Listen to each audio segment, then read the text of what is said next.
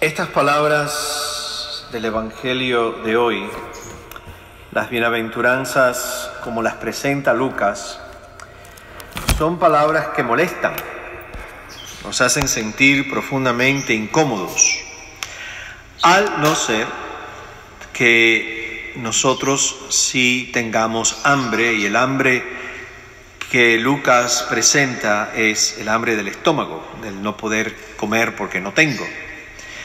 Eh, al no ser que seamos pobres, al no ser que estemos llorando, al no ser que estemos perseguidos por la práctica de la fe. Si somos así, entonces es un texto que se recibe como consuelo.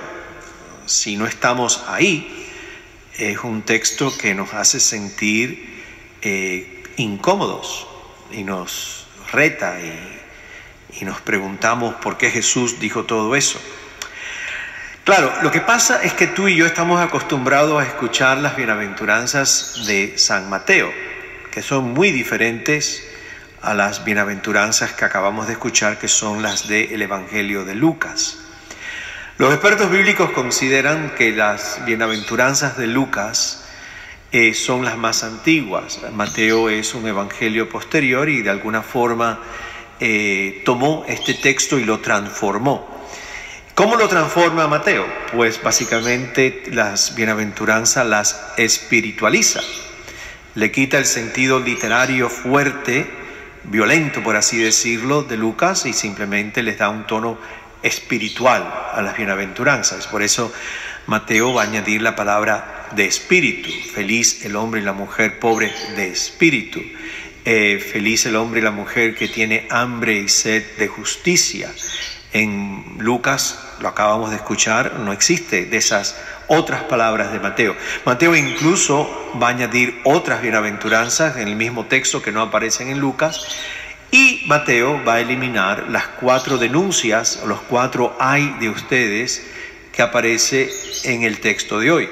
Lucas tiene cuatro bienaventuranzas y tiene cuatro denuncias. Eh, Nada de eso aparece en Mateo y por eso, que es la que más eh, familiar es a nuestros oídos, porque es la que más se trabaja incluso en retiros y, en charlas, estas de Lucas a nosotros nos suenan tan diferentes y, tan fuertes a nuestros oídos. Eh, incluso Lucas cambia la geografía en la que Mateo aparecen las bienaventuranzas. Eh, para Mateo Jesús es como el nuevo Moisés, presenta una ley diferente o mejor dicho toma la ley mosaica y la transforma, la lleva a otro nivel y por eso siempre como figura mosaica de Moisés eh, Jesús predica en la montaña. Eh, aparece muchísimo el Evangelio de Mateo Jesús predicando en lo alto de un cerro. Lucas va a tomar este sermón y lo va a bajar y dice en un llano eh, al lado del mar de Galilea, la geografía cambia y cambia la audiencia también. Lucas dice que venían gente, judíos de Jerusalén y de Judea, pero también le va a añadir a la audiencia eh, paganos de las ciudades costeras de Sidón y de Tiro, que eran territorios no judíos. Por lo tanto, la audiencia que recibe este texto en Lucas es una audiencia mucho más amplia, más grande. Es la típica catolicidad o universalidad del Evangelio de Lucas. Este es el contexto, básicamente, de, de este texto que acabamos de escuchar en esta tarde. ¿Qué significa todo esto para nosotros? Bueno, vamos a comenzar por esto. Primero, en Mateo las bienaventuranzas están al principio del capítulo 5. En Mateo el capítulo 5, 6 y 7 es lo que tú y yo conocemos como el sermón de la montaña. Y el sermón de la montaña tiene una llave para entenderlo que son sus ocho bienaventuranzas. Eh, en Lucas, lo que acabamos de escuchar, cuatro bienaventuranzas y cuatro denuncias, no aparecen al principio de ningún capítulo, aparecen en mitad del capítulo 6, está ahí tirado en el medio. Pero es muy importante, muy importante saber qué es lo que sigue a este texto que acabamos de escuchar hoy. Y aunque tradicionalmente no lo hemos llamado el Sermón de la Montaña, lo que sigue a las bienaventuranzas de Lucas es lo que podemos llamar la regla de vida, la forma de vida en que Jesús dice que un discípulo o una discípula suya tiene que vivir. eh, y presenta lo que yo llamo la carta de presentación o el carnet de identidad de un discípulo de Cristo. O sea, si tú quieres eh, saber eh, si yo soy cristiano o cristiana, bueno, yo le presento esto que dice Jesús después de las bienaventuranzas, porque eso es lo que me va a decir que yo eh, soy cristiano, no solamente porque creo, sino porque vivo de acuerdo a la forma de vida que dice Jesús que tenemos que vivir. Y eso sigue inmediatamente a las bienaventuranzas que escuchamos hoy. Y yo se los voy a leer y me voy a adelantar porque esto que yo voy a leer es el Evangelio del domingo que viene, así que la película se la estoy presentando por adelantado, ¿no? Es lo que sigue. Y comienza con estas palabras Jesús, aquellos que están escuchando, escúchenme. ya introduce lo que va a decir con esa frase, una frase muy fuerte, porque básicamente está diciendo, el que tiene una actitud de escucha interior, el que tiene el alma abierta a escuchar a mis palabras, la va a recibir. El que no tiene una actitud de escucha, el que no tiene el corazón abierto, lo que yo voy a decir básicamente va a rebotar como una pelota contra una pared. Entonces, inmediatamente a lo que yo acabo de leer, Jesús sigue diciendo, aquellos que están escuchando, escuchen. ¿Qué es lo que dice? Ama a tus enemigos. Ya no nos gusta. Hagan el bien a la persona que te odie. Bendice a la persona que te persiga. Y ora por la persona que te maltrate. Cuando te den en esta mejilla, como se lo saben, ¿verdad? Y cuando te pidan escribir una milla, eh, eh, eh, caminar una milla, camina dos. Y cuando te pidas la camisa, tienes que dar pantalón y zapatos. Si te piden la blusa, tienes que dar vestido y zapatos.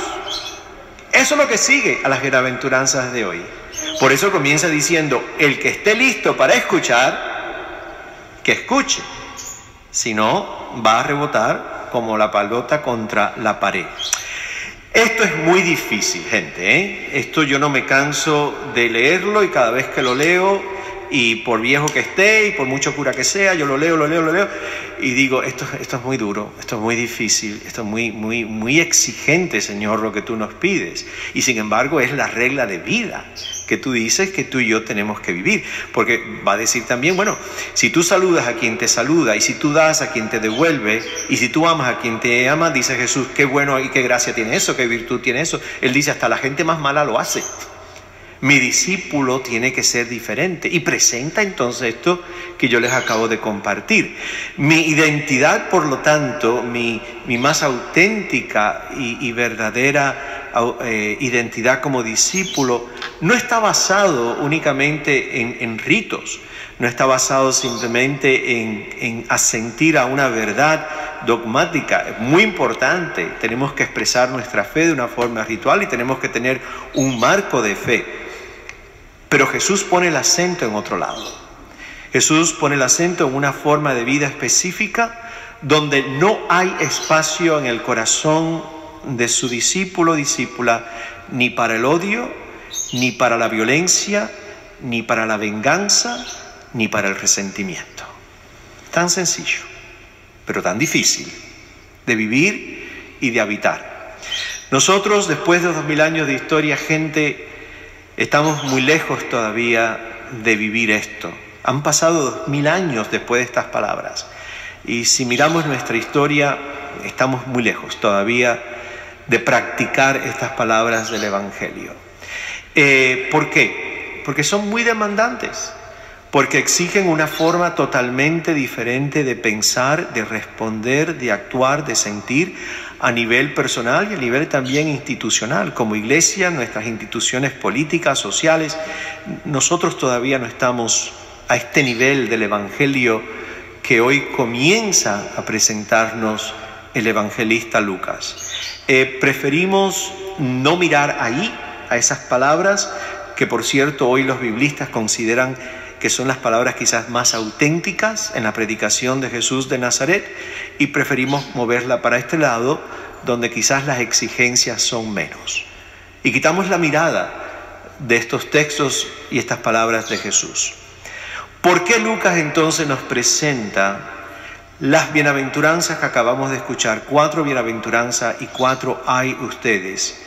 Justo antes de la presentación de la carta de identidad de un discípulo. ¿Por qué están ahí? Yo les comparto lo que yo pienso.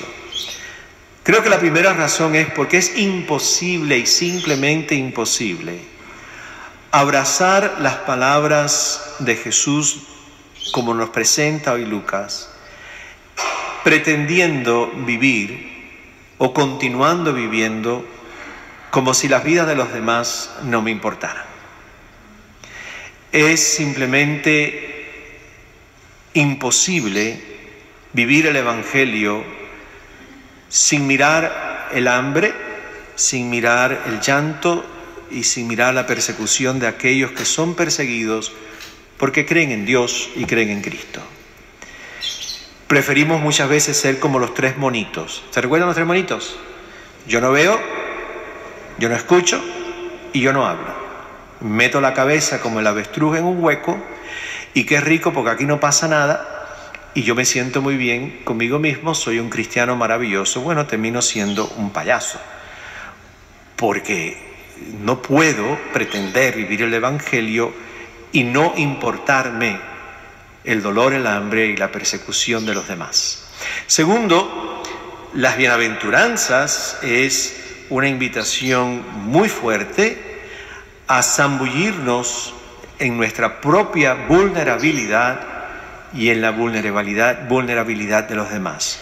Es una palabra que hoy utilizamos mucho en espiritualidad. Se utilizó mucho en los siglos anteriores eh, la vulnerabilidad del espíritu, eso se enterró y le hemos vuelto a desenterrar. ¿Qué significa esa palabra en su significado más profundo? Viene del latín vulnus y vulnus significa en latín herida. Hacerse vulnerable es hacerse capaz de aceptar que por seguir a Cristo, tarde o temprano yo voy a sufrir. Tarde o temprano va a haber un momento de angustia y en muchas situaciones incluso de muerte. Pero también es una invitación a yo entrar al mundo de aquellos que también son heridos. Eh, segundo, es imposible perdonar al enemigo es imposible bendecir a la persona que te maldice, es imposible hacer el bien a quien te haya maltratado, es imposible orar por quien te haya hecho daño, si nosotros seguimos prendidos a nuestras propias heridas. Y esto suena paradójico. El Evangelio y sobre todo las bienaventuranzas es siempre un llamado a desprenderse a vivir una vida lo más sencilla posible y aprender a depender de Dios. Em, San Francisco de Asís, del cual se, se habla mucho de que habló de la pobreza, Francisco realmente habló muy poco de la pobreza. Francisco la palabra que utilizaba era cine propio, vivir sin estar prendido a las cosas, a los lugares, a la gente, pero yo he descubierto en mi propio caminar y en el camino de tanta gente que uno acompaña, que hay un tesoro que tú y yo no soltamos. ¿Saben cuál es? Nuestras heridas. Queremos ser libres de nuestras heridas, pero nos identificamos tanto con nuestro dolor que en el fondo, en el fondo, no acabamos de soltarlas porque no sabemos quiénes somos si yo no suelto mis heridas. Y el Evangelio te dice que para seguir a Jesús tienes que soltarlo todo, incluso tus heridas. No vivir prendidas a ellas. Eh, Isaías, del que vamos a escuchar pronto en la cuaresma, al principio de la cuaresma tiene un texto maravilloso que se llama, lo conocemos como el verdadero ayuno que complace a Dios, donde hay una frase que dice Isaías, y Dios sanará tus heridas en el momento en que tú atiendas las heridas ajenas. En el momento que tú y yo prestamos atención al sufrimiento, al llanto, al hambre, a la soledad y a la persecución del otro y de la otra, Dios se encargará entonces de sanar nuestras propias heridas. De alguna forma tenemos que acabar de soltar la memoria de la herida para poder ser entonces, que es lo, segundo, lo tercero, ser libres. El seguimiento de Jesús implica querer vivir en libertad. Si hay algo que el ser humano quiere, que tú y yo queremos, es ser interiormente libres totalmente libres. Y si ya yo sé y tú lo sabemos que esa libertad total y absoluta no va a llegar hasta el día en que cerremos los ojos y nos lleven para Rivero Caballero. Yo lo sé ya. Pero no hay que esperar a morirse para ser libre. No hay que esperar a ese momento para llegar a la libertad interior. Podemos ya empezar a caminar a esa libertad interior es abrazando las bienaventuranzas, y abrazando esta forma de vida donde Dios, Dios en el camino nos va liberando de todo aquello que todavía eh, arrastramos. Yo siempre he pensado que el gran fruto final de tu caminar y mío en la fe de Cristo es la gran libertad interior. Y por último, qué bonito habló el Padre, ¿verdad? Bueno, lo último es que esto que suena tan bonito y tan difícil, pues tengamos paciencia con nosotros mismos. Porque esto es muy duro. Y se nos olvida algo muy importante, que incluso fue duro para Jesús de Nazaret. Jesús de Nazaret no la tuvo fácil, ¿eh? Lloró, batalló, clamó, porque tenía que vivir esto de una forma radical y auténtica y constante no, no podía haber contradicción en su persona.